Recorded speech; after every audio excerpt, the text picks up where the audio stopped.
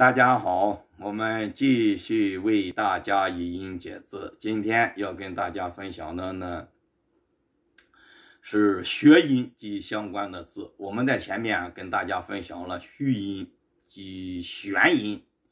嗯，及其相关的字啊。知道我们祖宗啊，把我们生命历程过程当中所发生的一个过程、一个现象或者一种状态。也就是饥饿的状态，使得我们这个呃自我感觉到物质生命有一定障碍或者受到一定的威胁啊，而产生一种所谓的紧迫感啊，这样一个过程，那么叫做血虚。那么血虚啊，在我们生命当中呢，就发现这个频率比较高，一天发生好几次啊。我们人生啊，那三万来天白拉十年啊，每天都发生啊，否则我们这个物质生命就不能延续。所以呢。我们人类啊，就呃要去解决这个问题，这就形成了所谓的我们啊劳动劳作生活的一种动力的源泉啊，我们没办法，没别的选择，这也是规则使然。那么要解决这样一个问题啊，那么祖宗呢就叫做学啊，我们今天要跟大家分享这个学音及其呃这样一个一系列的这个过程啊，或者现象，或者说我们采取的一系列的措施啊。嗯，就演变出对应的一些学字啊。那么，既然嗯，这个这是一个过程，或者说是一个呃一系列的措施，也某种程度上，也就是我们人类主要的劳动劳作呃生活的目的啊。你首先要解决的问题啊，那么 就有呃不同的各个方向的演变，因为你其实呢，解决虚玄。就是去获取食物，使自己不虚不玄嘛，啊，使自己物质生命得以向前推进。那么你既然是解决这个问题，所以呢，你首先呢要去呃找寻获取食物，完了以后你才能吃饱嘛，才使得自己这个生命不虚啊不玄。那么所以呢，这个学音的含义呢，有获取食物啊，是嗯是吃到食物。使这个食物呢变成我们自己身体的啊组成部分支或者说是支撑啊或者保障啊，那么变成我们自己身体的啊嗯 这样一个过程过程啊就叫做学，所以整个含义都在这个学音里头。那么这个音啊比较早，那 图字画呢那就是后来演变啊慢慢有这种需求以后，祖宗呢赋予了一些这个。呃，含义当然了，这不是因为它本身就是一个呃过程或者一系列的东西，所以呢很难用嗯一个图一个画啊一个字去表述出来。所以呢，有这个学音的最基本的含义啊，没有一个最基本的字和其他的一些字啊不一样，没基本的一个字图的这个来表达这个一个过程。那么首先要去。找寻得到食物啊，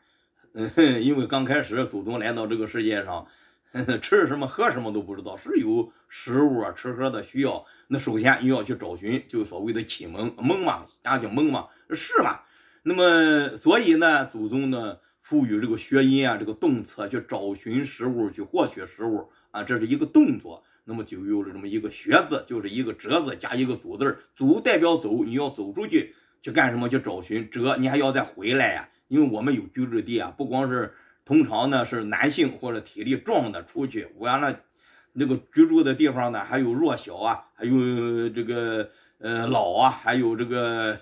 呃女性啊，那么你还要再回来，所以呢你出去找就获取，那么有这么一个含义啊，嗯，但是呢它一个旋转的意思，旋转意思是后来由于找寻啊。呃，获取食物啊有一个演变的过程，所以呢，也给了这个字。但是这个字呢，这个旋转的含义呢，又赋予了另外一个学字。我们慢慢的跟大家一点一点分享。那么你去找寻呀，获取啊，嗯，这个食物呢，呃，没有别的选择，只能是所谓的啊，其他的啊，呃，灵性血气啊，生命的身体啊，草木、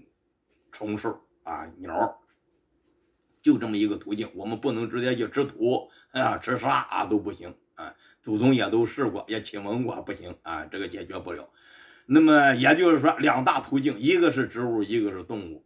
那么你要就是所谓的打猎啊，那你要获取动物呢？你到哪去获取呢？你要到动物动物的居住地啊 去获取。那最早祖宗生产力不发达，能力有限，你说直接面对狼、狮、虎、豹这些大型动物也不现实呀。我们还要逃避，还要回避啊，还要跟他去周折。所以呢，祖宗也认识到了，那通常那个幼小的动物，实际上动物捕食也都这样，照着弱小的啊，嗯，使劲儿。啊，你像你别看狼、狮、虎、豹啊，这都很凶猛动物，猎杀牛啊、马、羊、鹿啊，也都是找弱小的，实在没办法，那才就进攻，嗯，这个成年的，因为成年的反抗力大，所以没办法的时候才去。那弱小的呢，比较容易。那祖宗呢，这个道理处于灵长类顶端的，我们人类自然也清楚这个事情，所以呢。就往往他那个居住地啊去捉他的这个幼崽啊，当然不会说狼食虎豹啊，你起码就是兔子也就捉幼崽，也比你他的他他动作缓慢啊，所以呢就去捣毁哈哈，去掏取呃动物居住地，动物这个巢这个洞，它有个洞啊居住啊，呃鸟有巢啊啊呃这个地方啊呃去获取动物来作为食物，那么嗯这样一个。呃，过程吧，这样一个动作或者行为吧，就叫做学啊，就是呃获取动物的这个身体啊作为食物，那么就叫做学，演变到我们今天啊就是洞穴的穴。那么它本身呢就有掏取啊、挖取，就是前面这个呃穴字的这个基本的含义。那么后来呢就分开了啊。那么动物居住的这个洞、这个槽啊、这个坑啊、这个居住地啊，叫做穴了啊，就有了个名词的一个趋向。而动词呢，一个提手加个穴字，是指着什么呢？就是去呃捣毁啊，去获取动物啊，从这个动物的居住地啊去获取动物作为食物的普通，也是前面一个折字加足字这个的含义。当然了，后来这个穴字啊，一个提手加穴字的穴字这个。字呢不用了啊，被日本人继承去了。呃，这个基本上那古书里都有，但是好多人也不知道是啥意思啊。其实呢，就是获取动物，捣毁、掏掏鸟窝啊，掏鸟巢啊，掏这个兔子窝啊，掏这个 这个这个羊窝啊，羊也有居住地，鹿也有啊，等等，它都有一个地方。刚出生的时候总有个居住的呃地吧，它有一个嗯。这个不是说非得有个洞啊，有个坑，那也叫穴。所以这个穴的含义不仅仅是洞坑的意思。那居住地，后来我们呃形容到我们人自己身上有土匪的呃老穴啊，也叫老巢啊，嗯，那个居住地啊，它有这么个含义在里头，大家自己去考证。那么就有后来呢，类似于洞、巢啊、坑啊、居住地这样的地方啊，都都都叫做穴了。嗯，它有一个名词这个方向的沉淀，而动词呢就。呃，这个提手加学字这个字呢，基本上也不用了，就给了这个呃提手一个折字加足字这个学字了。那么好，这是动物。那么还有一个我们食物的途径呢，就是所谓的草木植物。什么草木的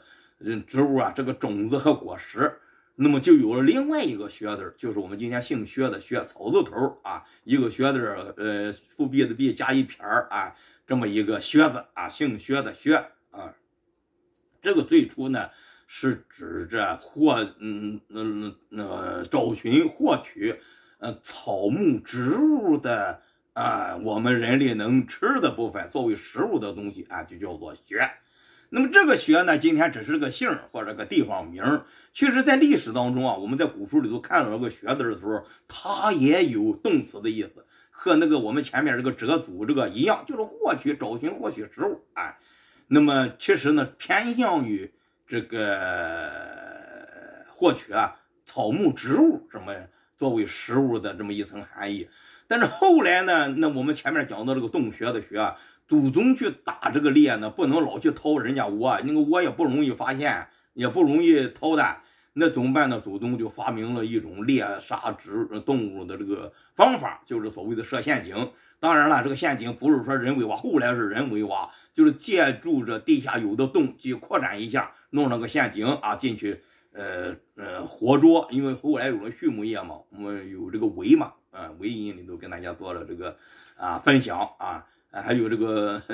呃 畜啊畜畜畜牧业啊那个畜呃畜字啊呃序音里头也跟大家做了分享。那么你要去活捉，你才养活作为储备嘛。所以呢，那你要活捉的话，就不能去砍砍杀杀、打打杀杀了。所以呢，要活捉啊，完了再来回来驯养。那么就用这个穴去所谓的都是陷阱去呃捕获动物啊，也叫做穴。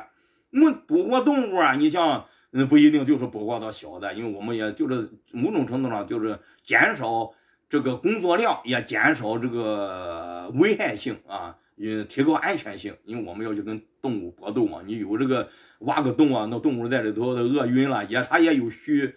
悬的时候啊，那祖宗从自身印证到动物上去，所以呢就可以控制。那有时候是大型动物啊，什么牛啊、马啊、羊啊、驴啊，甚至于熊啊、狮、虎、豹啊，都可能掉到这个陷阱里头去。祖宗用了各种各样的方法，但是你说掉进去了是掉进去了，我们也可以征服它，也可以，因为它饿它嘛，啊，没吃的，它最后也就悬悬了啊，头晕眼花啊。那么我们要去把它弄出来，不是我们人能够做到的。一个熊啊，一一一头牛，那重的上千斤，轻的几百斤，我们人一个人、两个人、十个人都搞不出来。你把这个从这个血里头啊，去把它整出来。所以呢，祖宗就发明了所谓的今天我们叫什么叫起重机？哎，呃，最早的杠杆原理。哎，祖宗呢就弄了个大树啊，就是其实这个呃穴啊，就是把这个。动物从穴里头挖出来啊，嗯，整出来也叫做穴。动词的含义啊，就给了折足这个字。后来演变演变，给了这个草字头这个穴。实际上，草字头这个穴呢，在我们比较近的古书里头，就是指这么一个所谓的杠杆啊，或者说一个嗯吊起机，因为它也本身有折的意思啊。因为一个树树枝子有个大大杠子啊，我们祖宗用大杠子，那所谓的杠杆。那么我们人啊弄不出来，底下把它绑好了，把它弄出来啊，啊，弄个杠杆，这头好多人压杠杆原理，把它压上，压出这个血口了。那你还是在上面，所以要转转一下，哎，就转到陆地上了啊，就把这个大型动物学出来了。所以这样一个过程叫做学。所以姓薛的薛，草字头这个薛啊，就有这个一个杠杆，或者甚至于当秤使，因为后来的秤也是这样，秤也是这么一个原理啊，杠杆原理。那么就有有一个阶段是这么一个含义，当然今天我们现在都不用了。呃，为什么强调这一点呢？因为我呃在一些两三千年以前的这个书里头就出现这样的字，这个含义就是指一个杠杆能够省力，能够旋转，啊，呃，整出来意思从动力从后来就是像我们今天起重机，不光是动力头了，我们现在起重也是这个原理啊。嗯，科学的发展最基础的时候啊，老祖宗就是这么。演变的，那么就有这么一个薛字，姓薛的薛，这是在古书里都有这个含义。后来又推到这个 折足这个薛字去了啊，所以折足呢又旋转，因为它要转一下，要要翘一下，翘本身就是杠杆原理，也是一个圆周运动。完了，在竖向的，在横向的，哎，不管是怎么转吧，所以它也有旋转的意思啊，有转动的意思，哎，那么 有了这么一个过程的演变哎，跟大家来分享一下。那么祖宗获取了，掏了鸟巢啊，那这个虎巢啊，这个洞网穴啊，或者说是去穴啊，设陷阱，获取了动物，那嗯嗯嗯，怎么办呢？嗯，那就要进行处理，要剥皮啊，把皮给去除。那去除皮啊，就也有一个动词的动作在里头，那就是用刀子啊，把这个皮去除，所以也叫做。削啊，剥削的削，这是就是说去皮，哎，或者说切像，尽量的切像像剥皮那样，啊，去皮儿那样去削啊，也叫做啊削，哎，呃，当然这个也叫削，也叫削啊，这个字。那么这个削，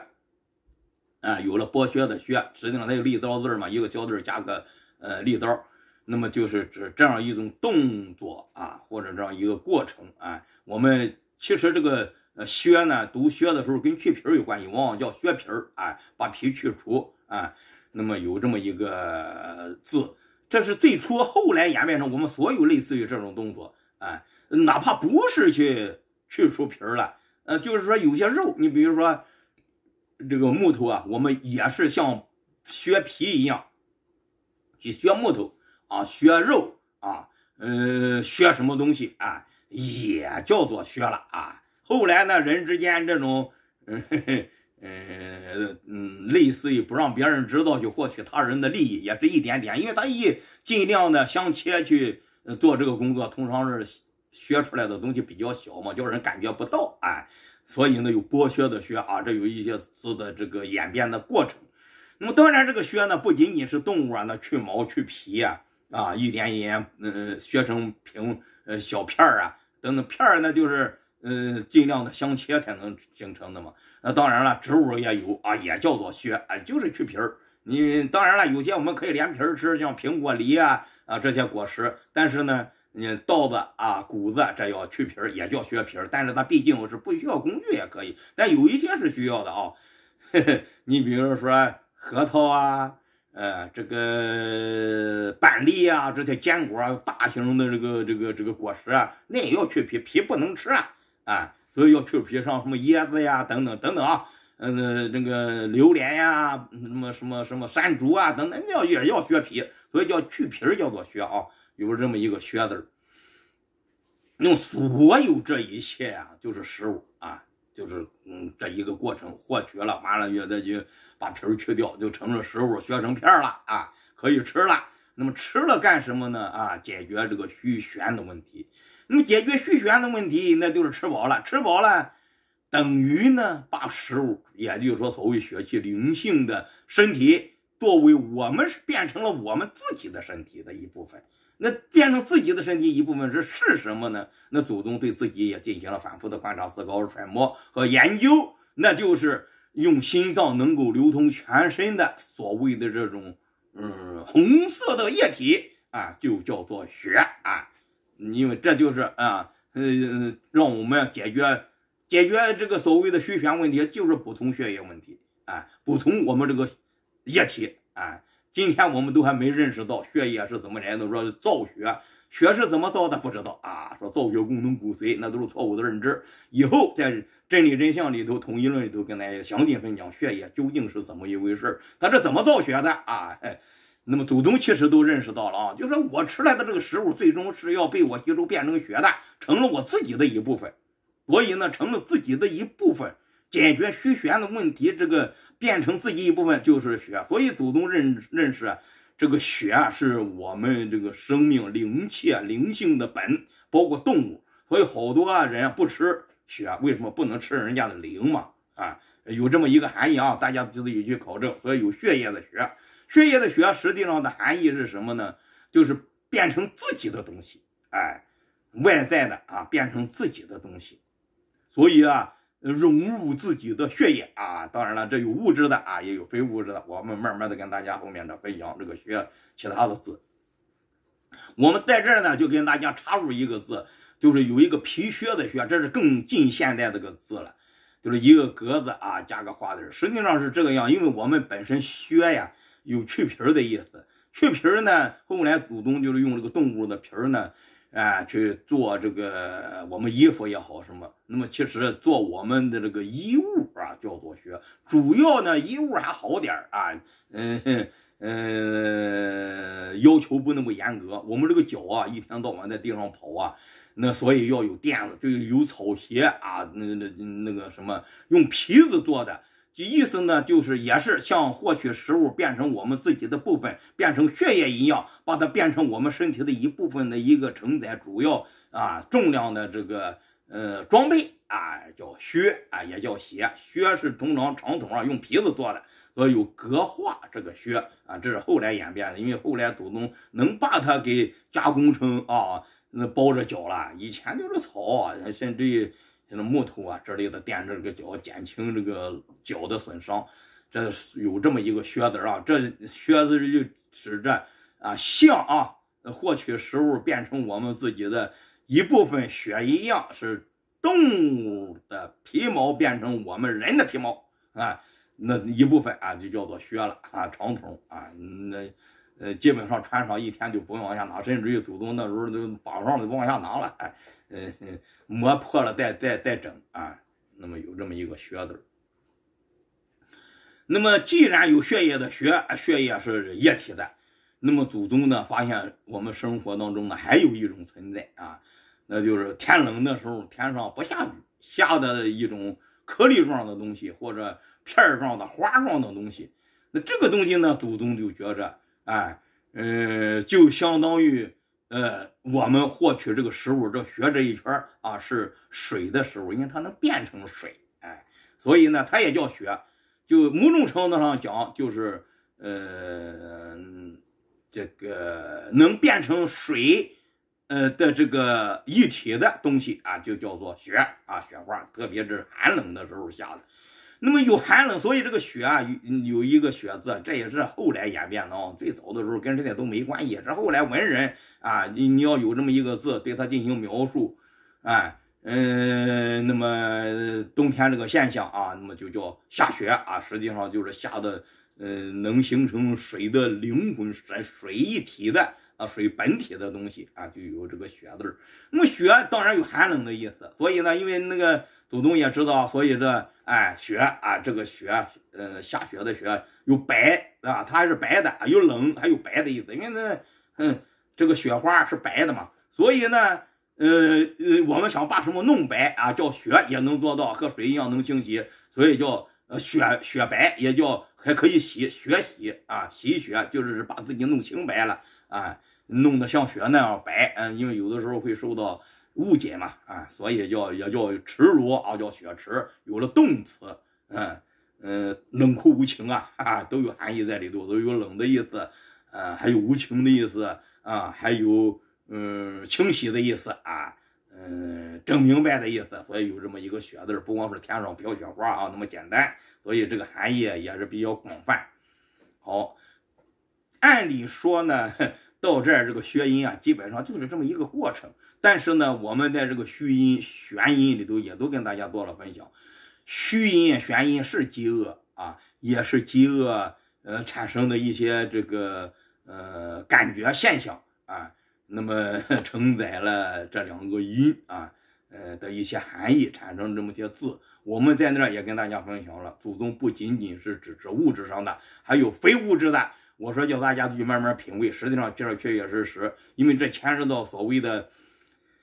哎，我也说过二次生命叠加嘛，就所谓的无形的非物质的跟已经无形的非物质的跟有形的物质之间结合的第一次以后呢再一次啊，也叫做玄。啊，这个东西要说清楚了，所以叫玄学啊。那么也跟这都有关系，虚也有啊，虚有空啊，所以我们今天谈空说妙也都跟这有关系，都隐含在虚玄里头。这些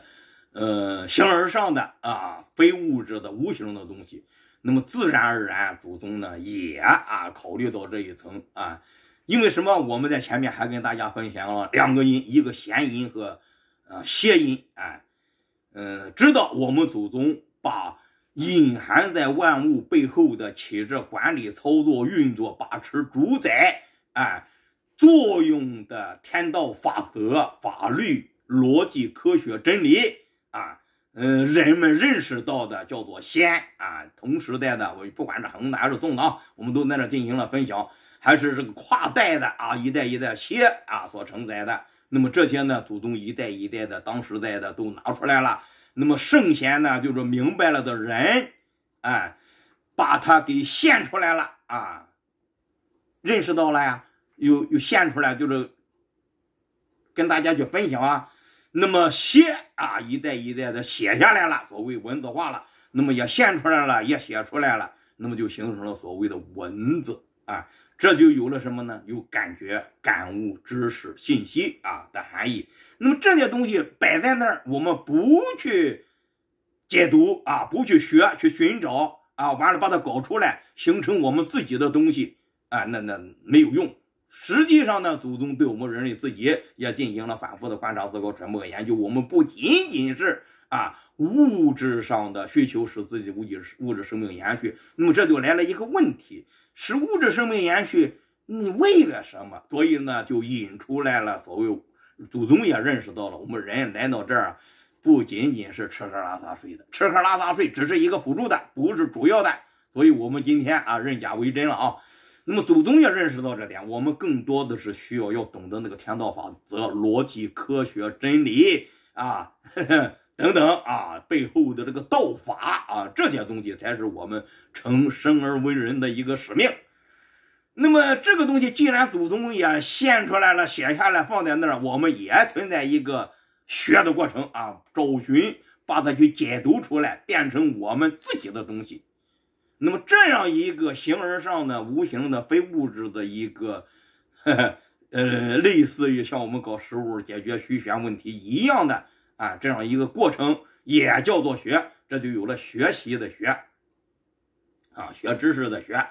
那么这个学呢，含义呢，实际上，嗯，我们抛出实物不说，就是把知识、信息啊、感知、感悟啊。嗯嗯，这个整合到自己的脑子里头。我们今天知道大脑了吗？啊，就叫做学，拷贝到里头去。那么首先，所以我们要叫知识，这是最基本的含义啊。那么 我在这个《论语》里头的分享啊，《论语》的分享里头啊，都跟大家做了分享。那么学而时习之啊，这个《论语》啊，第二学啊，那么就解释了这个“学”字啊。呃，那么后来呢，所以这个“学”的有知识的意思啊。也有搞到知识的意思，拷贝啊啊，嗯等等。那么后来演变呢，又有有学，学了以后呢，有这些知识干啥呢？要去做嘛。那祖宗认识出来的，那都是动动态的出来的。学这个知识我们要去做，所以叫学习是两个事儿。习是按照你学的东西、知识、感知、感悟去做。后来呢，一些祖宗呢，就是学习放在一块儿，学者习也，哎。学习一样啊，所以学有习的意思。当然，你仔细去品味，那不对嘛。但是呢，有些祖宗他不管你对不对啊，学就是习，所以不要跟谁谁谁去学啊。他有这个动作在里头，就是照着样去做。所以学有了这么一个含义啊，不仅仅是把信息知识考考到，其实这仅从学字上来讲仅此含义。但是后来拓展了呀，不仅是搞到，还照着去做，个习又挂起钩来了。其实，嗯，也是啊，你 这也是一个演变，但是我们今天都能接受。有你说的时候是拷贝的意思，我们能辨别出来；你拷贝了再去做的意思，我们也能辨别出来。所以，我们现在这个学子有各种各样的含义了。那么还有呢，有知识信息，有学，那么还要自己学，自己去拷贝，自己去获取、引导或者挪到自己的脑子里头，从这个知识文化形而上的啊。那么还要叫别人学，别人也有需要嘛？啊。所以呢，就所谓的叫学问啊，学问知识啊，那么有了这么一个含义，让别人学啊，那就就存在教学了。就是说，学实际上是一嗯 一系列的这么一个过程，或者是一个现象。从前人的学，再让后人学，所以有个传承的意思，大家就品味去理解。所以从事学问。学问研究，再有学问啊，那么这个学的含信息含量就多了。我们今天的宗教，我们今天科学，我们人类所有的知识信息，所谓的这科那科啊，都是这一个学，都被我们老祖宗都能都叫做学。所以呢，那么大家在分享的时候，献的时候，分享的时候，写写的时候，文字化的时候，那可能呢，不可能一下子啊，一个人全都搞到，就就就说啊，呃，都一下子一下子讲明白。所以我们要一点一点的去搞。那么一点一点搞，就所谓有分科，所以我们现在有数学、物理、化学、哲学啊，那语言学、这学那学，什么生物学啊、力学啊，哎呀，各种各样的材料学，呃，五花八门啊。现在所谓形成科学的各各门各科。那么祖宗那个时候也是也知道这一个，所以也进行分科别类。哎，那么所以呢，当一个我们要去搞这个学，搞这个知识、信息、感知、感悟、传承、分享，让自己学，让别人学的这过程当中。也存在这样一个问题，你要有分门别类，哎，当然综合最好。其实人都是可以综合的，但是你再综合，你要一门一门去学嘛，一类一类去学嘛。那么你不能说人家，比如说今天我不想知道，哎，嗯，这个，哎，你跟我讲这个，他也不那个，他总所以要有问，哎，叫学问。你得问完了，又针对你这个问完了再去啊学啊，给你展现啊这些所谓的知识信息。那么呢，这个就要有一个问的问题啊，这个问，那么就是一个开头，要搞学的一个开头，就有了今天噱头的学啊，噱头的学呢就是个开始，实际上就是关于学的问，哈哈，你问学叫做学啊，哼因为你要起个头啊，你想知道哪一方面嘛，要上哪一科的，所以今天呢这个含问的含义呢没有了，反而成了个噱头，就成了吸引别人的啊一些技巧啊一个隐含的东西了啊，有这个口字旁加个穴字，有这么一个穴字。那么的 的演变啊，嗯，那么还有呢，我们前面说这个穴啊，还有木学，木学其实就是那个杠子啊，那个杠杆儿，那个起重机、起重设备。那么自然也有其他的，嗯，还有虐待的虐也读作穴，是实际上呢也是呃有一些，呃，因为搞这个学嘛，不一定都是真的啊，搞的所有是我们现在那个。规则啊，我们今天科学认为它是真理啊，里面有真有假有错误啊，有故意的有有意的，所以有邪啊，我们都跟大家做了分享。所以呢，有一些也读作学，有我们做的不好嘛，所以特别那个戏虐啊，呃，也叫学啊，一个言字旁加个虐字叫学啊，那就是说用语言表述的时候呢，哎呀，嗯，反正是不对的东西啊，叫做学了。当然又演变出其他的含义，它要跟别的词语用的。那么关于学音啊及相关的字啊，我们就跟大家分享这么多吧。好，谢谢大家。